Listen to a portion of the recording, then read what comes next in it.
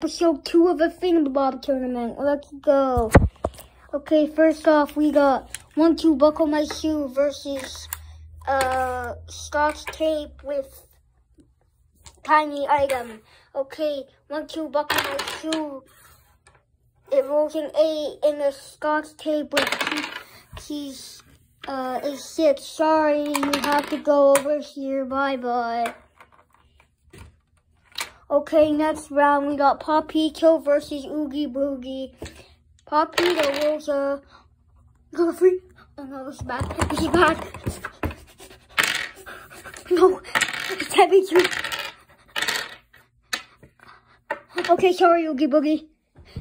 Okay, next round we got FNF Boyfriend versus uh, Plants versus Zombie Squash. Let's go. Okay, Plants versus Zombie Squash. A 9 and FNF Boyfriend. You're 10. Sorry, Squash. Yeet. Okay, last round we got Nyarp. Okay, second to last round we got Nyarp Nyarp versus Conehead. Alright.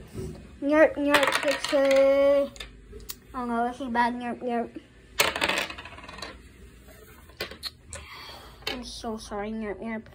You had it. You could be a, a bonus round, okay? I'll just set you right here. And the last round, Blade of Grass versus literally all these tiny items. Let's go, okay. And Yarp Yarp because he's very tired and cool. Okay, Blade of Grass or whatever you want to call it. It gets a five. And all these miniature doodads, trinkets, gets a four. Okay, sorry, but we've moved on to the next round.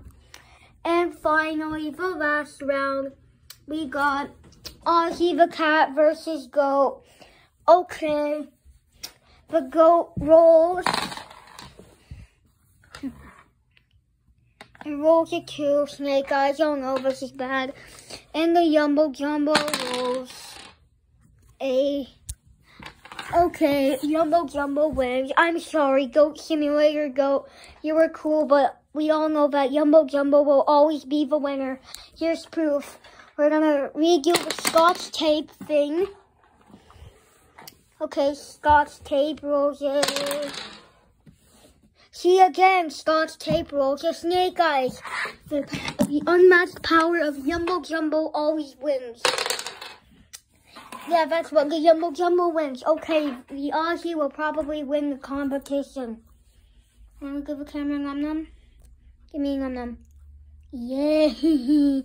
oh, who's a good? Who's a oh, good Jumbo? Oh, yeah, what you win? Okay, that's this episode of the Thingamabob tournament. Goodbye.